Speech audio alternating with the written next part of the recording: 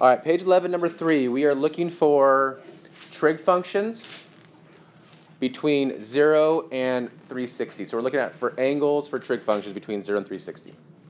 Okay? Um, generally, you should go to the, each one of these problems and think, how many answers will there be?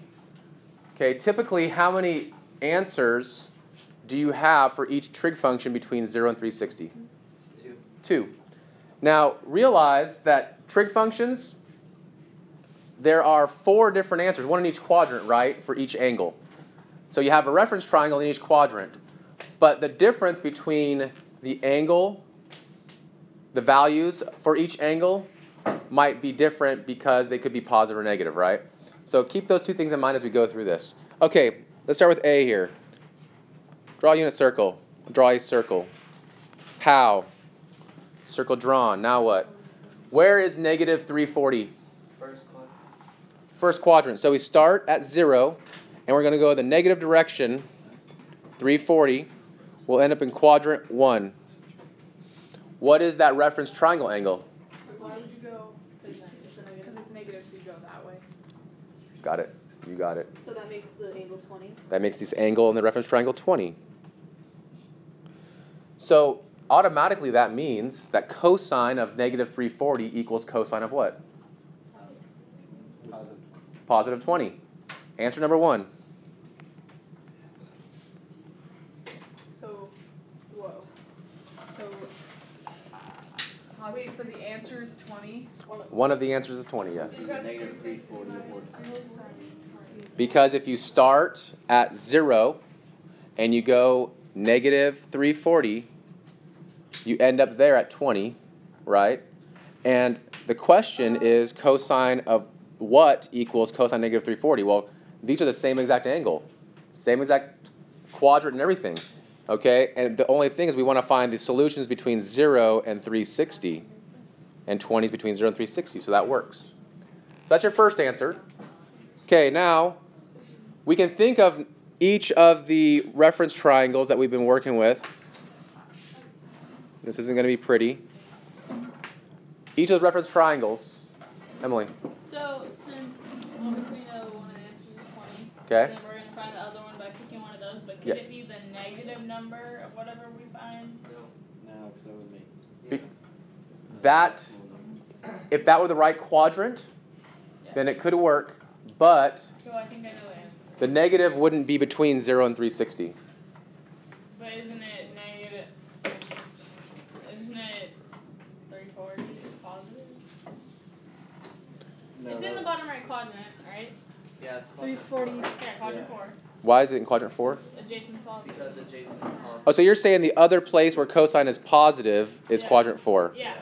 So if I look at all students take calculus, it's also that quadrant and that quadrant. Mhm. Yeah, so your other answer would be 340. So there are to But can two it just answers? be negative twenty? It could be negative 20, but That's not between 0 and it's not between 0 and 360. Oh, gotcha. Okay, Yes. so wait. Yes. To find the, to 340, why would you have Now on B, a little bit more difficult here because we're dealing with a cosine equaling a sine. Okay, this takes one of our identities that we had about when you take a sine of an angle, sine of 20, what does that equal automatically with the cosine?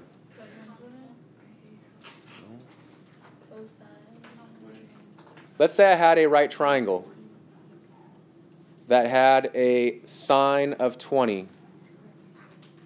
That would be opposite over hypotenuse, right?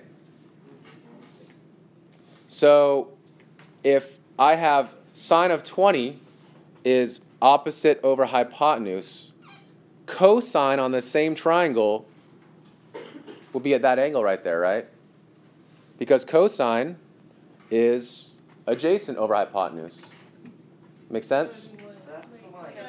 So it'd be 70. So if you have cosine 20, sorry, sine 20, it'll equal cosine 70 right away. Oh. So Now when you draw the reference triangles, you're going to use 70. Amanda, can I guess what that other one would be? can you guess what the other one would be? Yes, please. Um, would it be like the line, or what's that, two seventy, two sixty plus, plus, uh, plus seventy? So you're saying here, Would that be that? that's my 70. That's cosine 70. Where what other quadrant would it be in? Oh, would it be quadrant four? Perfect, 70. Would it be like two, or three, four, is that what seven plus seventy is? Two seventy plus seventy? This It's two ninety. it's 290. Is that right? Yes, so the answers would be 70 and two ninety? because we're in quadrant 4 and 360 minus 70 on the reference triangle is 290. Let's do C. Draw a circle. Check. That's a bad circle. Start at negative 10. Okay, negative 10 will give me a reference triangle of down here, right? Of 10 for the cosine. But we want to jump to sine now. So it'd be eighty. So be 80. So I'm going to go up. I'm in that quadrant. So now I got to go 80. Now you have to be a little bit careful here. Okay? So I'm going to start right here. I'm going to keep this for a second. That's everybody okay with that? Wait, That's negative 10 degrees. Why'd you, I thought you were gonna make it eighty. I was, but just hold on. That's negative 10, correct? Yes. Okay. That's cosine of negative 10. Is cosine of negative 10 positive or negative? Negative. All students take calculus. Cosine of negative 10 is positive. So that means I want to use the 80 degree angle. I agree. But now we're with sine. So we want sine of something of, so with 80 to be positive. So it'd be left. So I would just go right here. That would be 80 because everything's positive there. Right? So 80 is an answer. What's the other quadrant where sine is positive? The second one, Second quadrant. So add ninety again. Add 90? At eighty again, no. At 80? Add twenty. Add 20?